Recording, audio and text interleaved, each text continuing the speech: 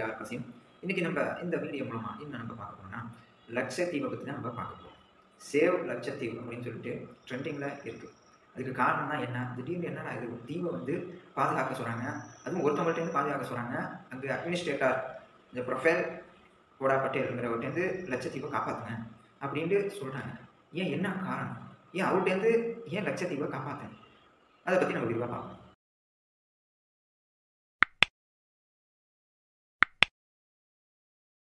லட்சத்தீவுங்கிறது தமிழ்நாட்டுக்கு பக்கத்தில் கேரளாவுக்கு இருநூறு கிலோமீட்டர் தூரத்தில் ஒரு அழகான ஒரு குட்டி தீவு. அந்த தீவின் பரப்பளவு என்பது முப்பத்தி இரண்டு கிலோமீட்டர் தான். அவர்களுடைய முக்கிய தொழில் என்னன்னு நம்ம பார்த்தோம்னா மீன்பிடி தொழில் கறி பீஃப் அந்த இது விற்கிறது அதெல்லாம் விருப்பமான ஒரு தொழிலாகவே அவங்க பார்த்துக்கிட்டு இருக்காங்க.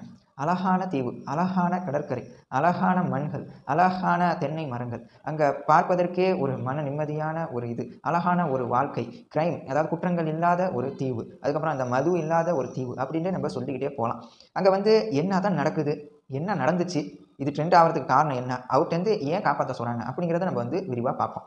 இப்போ நம்ம ஒவ்வொரு மாநிலத்திலையும் முதல்வரை வந்து நம்ம ஓட்டின் மூலம் நம்ம தேர்ந்தெடுப்போம். ஆனால் அந்த தீவில் வந்து அப்படி இல்லை. அவங்க வந்து மிக அதிகாரப்படுத்தவர்களாக மத்திய அரசால் நியமிக்கப்பட்ட ஐஏஎஸ் ஐபிஎஸ் அந்த மாதிரி அதிகாரம் மிக்க நபர்களை கொண்டு தான் அந்த தீவை வந்து செயல்பட வைப்பாங்க. அவங்களுடைய தலைமையின் கீழே தான் அந்த தீவு வந்து செயல்படும். இப்போ சமீபத்தில் வந்து அங்கே தலைமையில் ஐஏஎஸ் அதிகாரி தலைமையில் இருந்தது வந்து டிசம்பர் மாதம் வந்து அந்த ஐஏஎஸ் அதிகாரி இறந்ததனுடைய அந்த காரணமாக மத்திய அரசாங்கம் வந்து ஒருத்தவரை நியமிக்கிறாங்க. அவர் யாருன்னு பார்த்தா குஜராத்தில் எம்எல்ஏவாக இருந்தவங்க.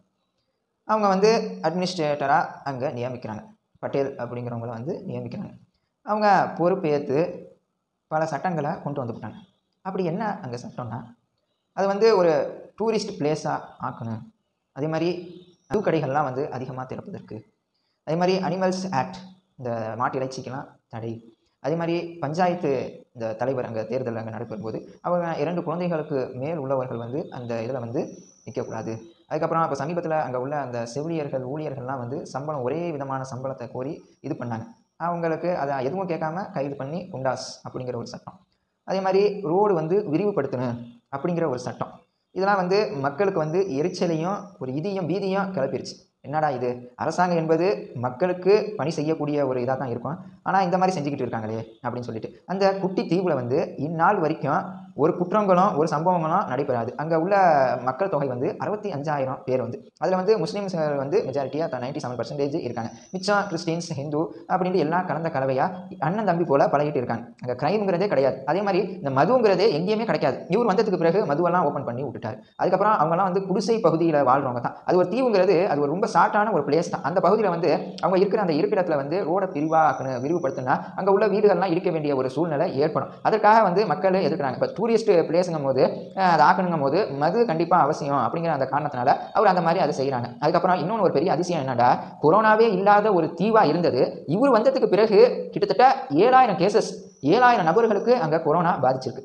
அதே மாதிரி அங்கே உள்ளவங்கலாம் அவங்க இதில் உள்ளவங்க மட்டும்தான் அங்கே வந்து இடம் வாங்கலாம். அவங்க பிள்ளைகள் அங்கே உள்ளவர்கள் பாட்டன் அப்படிங்கிறது மாதிரி தான் உள்ளவங்கலாம் இடம் வாங்கலாம் அப்படிங்கிற ஒரு ரூல்ஸ் இருந்தது. இப்போ அந்த ரூல்ஸையே இவங்க புதுசாக வந்த பட்டியலுங்கிறவங்க அப்படியே மாற்றிட்டாங்க யார் வேண்டாலும் இடம் வந்து வாங்கலாம் அப்படின்னு சொல்லிட்டு. இதெல்லாம் வந்து ஒரு பெரிய ஒரு எரிச்சலை கிடச்சதுனால கேரளா அரசாங்கமே வந்து இவரை முதல்லேருந்து இந்த பதவியிலேருந்து தூக்குங்க அப்படின்னா பினராயி விஜயன் அவர்களின் தலைமையிலான அரசு வந்து கோரிக்கை வச்சிருக்காங்க தீர்மானமும் நிறைவேற்றிருக்காங்க. அப்போ எந்த அளவு அந்த அதிகாரி அட்மினிஸ்ட்ரேட்டர் வந்து செயல்பட்டுக்கிட்டு இருக்காங்க என்பதை நம்ம வந்து இதன் மூலம் நம்ம கண்கூடாக தெரிஞ்சுக்கலாம். இது வந்து ரொம்ப ஒரு மிக மோசமான ஒரு சூழ்நிலை. இப்போ நம்ம வீடு கட்டுறோம் நம்ம விருப்பத்தின் பெயரில் தான் அது கட்டணும் அதே மாதிரி வீடு கட்டி முடிச்சதுக்கு பிறகு வீடை வந்து இந்த இது சரியில்லை அப்படின்னு சொல்லிட்டு ஒருத்தவங்க சொல்கிறாங்க அதை இடிச்சிட்டு இதை மாற்றுங்க அப்படின்னு சொல்கிறாங்க எனக்கு அது விருப்பம் இல்லை. ஆனால் அவங்க செய்யணும்னு சொல்கிறாங்க எனக்கு விருப்பம் இருந்தால் தான் அது செய்யணும். அது போல தான் மக்கள் என்ன விரும்புகிறாங்களோ அதை தான் செய்யணும் அரசாங்கம். அவங்க விரும்பாத செயலை செய்கிறது என்பது மிகவும் வருத்தம் அளிக்கக்கூடிய செயல். உடனடியாக மத்திய அரசு இதில் தலையிட்டு இதை சரி செய்யணும் என்பது தான் அனைவருடைய கோரிக்கையுமாகவே இருக்கின்றது. என்னுடைய கோரிக்கையுமாக இருக்கின்றது. எண்ணங்கள் இவ்வாறாகத்தான் இருக்கும் என்ற அடிப்படையில் நம்ம வந்து இதை பற்றி நீங்கள் என்ன நினைக்கிறீங்க? கமெண்ட் செக்ஷன் மூலமாக கமெண்ட் பண்ணுங்கள் நான் ஏதேனோ ஒரு சிறு தவறாக பேசியிருந்தாலும் அதை இதை இப்படின்னு எடுத்து சொல்லுங்கள் இதை இந்த பிரச்சனை வந்து முடிவுக்கு வர்றதுக்கு இறைவனிடம் பிரார்த்திங்க ப்ரே பண்ணுங்கள் ஓகே பாய்